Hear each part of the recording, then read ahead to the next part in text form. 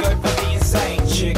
I know the dames think different dudes, but the ones that I choose, I got a screw coming loose. I need to hide some abuse, and I never got resolved. All the just the one-off, I never fit into a mold.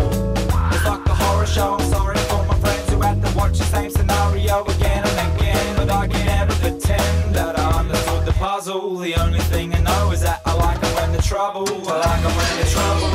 I don't know why, but like it when the trouble. I don't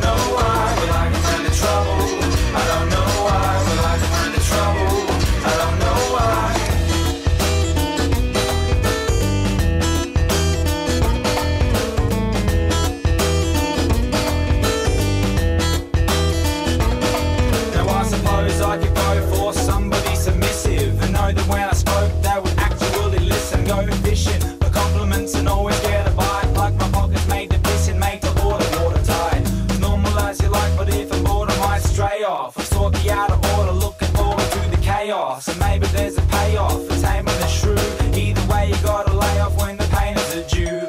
I'm stating the truth, they're seductive and destructive. The amount that I've encountered them is counterproductive, and I'm bound to be stuck with the diamond in the rubble. The only thing I know is that I like 'em when there's trouble. I like 'em when there's trouble.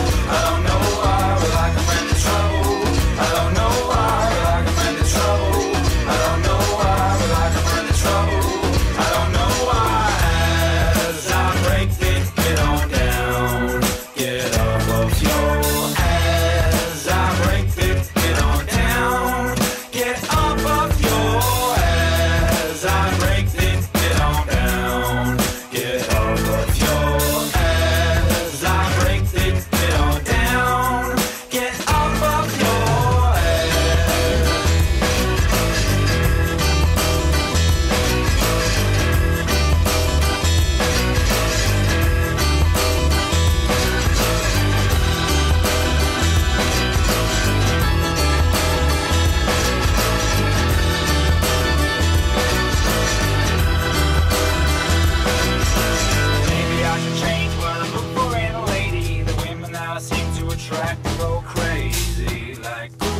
None of them hiders, all of the above, from the warmer to the lighter. Maybe I'm the range, but if trouble doesn't make me run the other way, then I'm the one who's crazy. Like, none of them hiders, all of the above, but I really don't.